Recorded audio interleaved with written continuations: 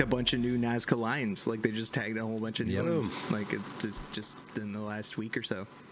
It's amazing. People are out there changing the world. One time, I fell asleep trying to put on a pair of pants. You know what I mean? Like, We've all been there, unfortunately. I know we're all shooting from the waist up for a reason, right?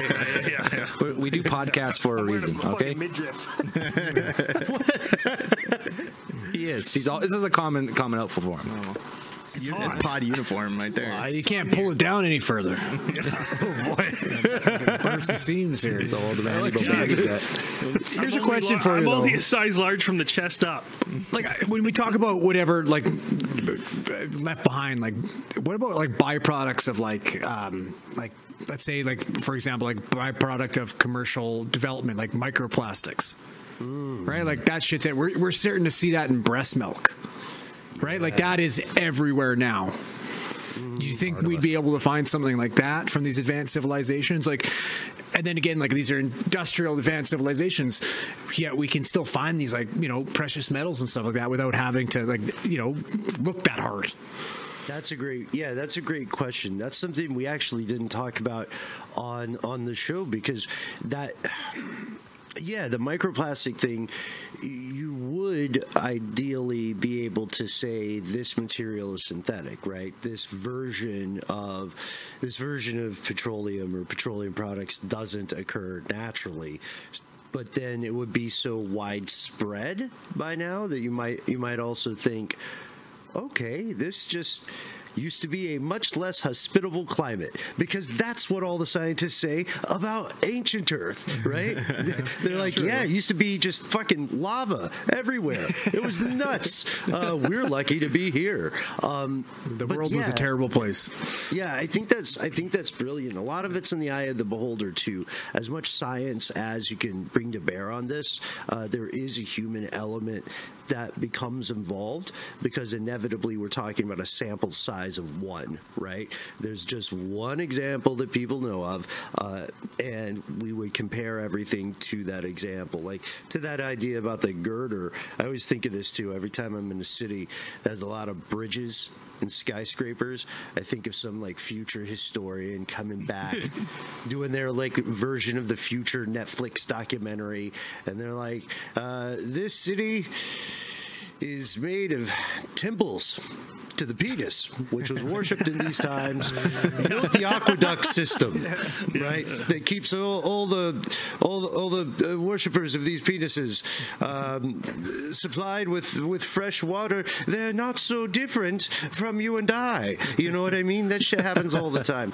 Um, but the microplastics, I'm going to hold on to that one, Andrew, because I think that changes that changes the calculation in a serious way.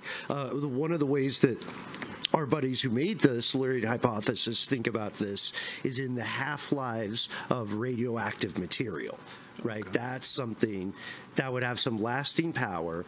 And outside of one place in Gabon, I believe, uh, you would have to have a intelligent source creating that stuff, right?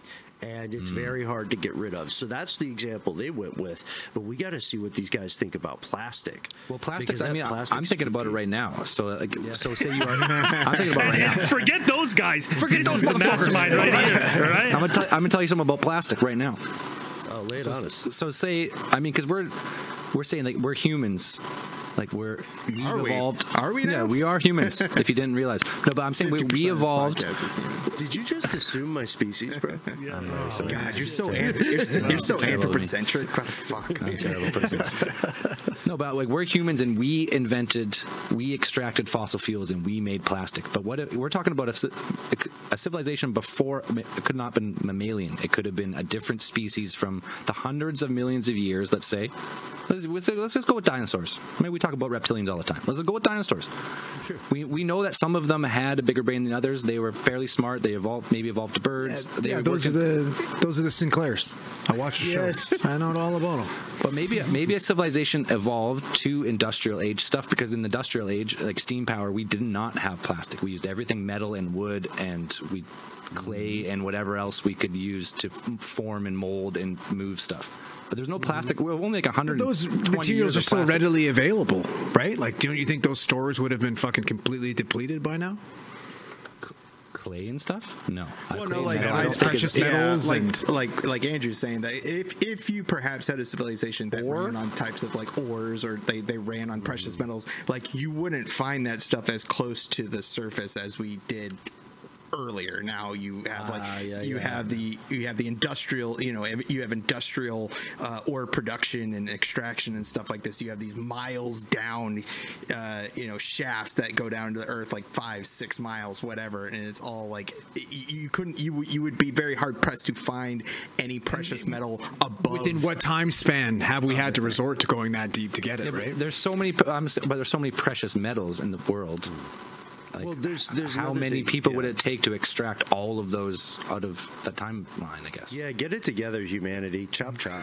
Of course, Extract more. Of course, Do better. I mean, you could also be like, yeah, um, like I said, like maybe we're being a little bit too anthropocentric about it. You're, th- I mean, we, you're talking about sample. Sa- you're, you're being. We're, we have the sample one. We're the only intelligent species that we know of at this point that has come. That can manipulate. maybe, maybe another civilization they didn't put so much value on gold or precious metals. Like maybe Mm. their technology was not so much based around what that was. They used some other type of material or and Maybe or- they're alchemists. that too. There's more utopian. They just You could find advanced civilizations all over the place. Like you just pick them up off the ground back then and just I turn like it. anything. Yeah. I, I mean, it's it's a good question because what what I think we're all pointing toward here is uh, sort of interrogating the assumptions that come out. Like we know this about our current society. It's it's very easy for a lot of people to say, yeah, of course they used uh, they used our particular approach. You know, they they took what we call fuels fossil fuels and they just went ham because that's what we did and we're so friggin' smart but that is an assumption and that's a stumbling block there are a couple of other surely like you mentioned precious ores there are other things they could do i love the alchemy idea let's just go for that one i don't know if i can vote as a guest on the show You can. like also you know what is it? What if it's entirely solar power? We talk about this with alien, oh, the concept of extraterrestrials all the time, right? Uh, the Fermi paradox argues that yes, statistically, uh, intelligent life is out there, and that also yes, we're probably not going to find it or exist in the same time frame. but another question is, would those two very different things be able to recognize each other as intelligence? Mm. Would we just be thinking, wow, these these gigantic chains of hydrogen molecules seem to behave in a very particular way. You know what I mean? And they like is it possible that if something came before, it was so very different, so inimical to our understanding that that we wouldn't be able to recognize it. I think that's pretty that's pretty exciting. Um, and maybe a little depressing, but it's interesting. How will we find it? I mean, it's, it could be something like it. Yeah, it could have been a uh, a colony of, of fungus, like hyper intelligent fungus, like that could have just been like yeah. some that that that Couple that formed some type of consciousness. Fungis. You know, Fungis. yes. I'm sure they're yeah they're fun to be. My with money's on that, by the way, for for meeting an organic.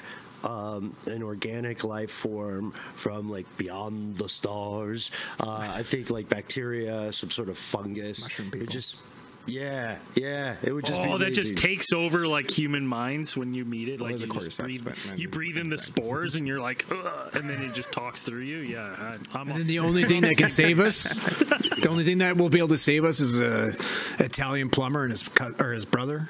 yeah, That's it. That was a documentary. I'm telling you that that movie.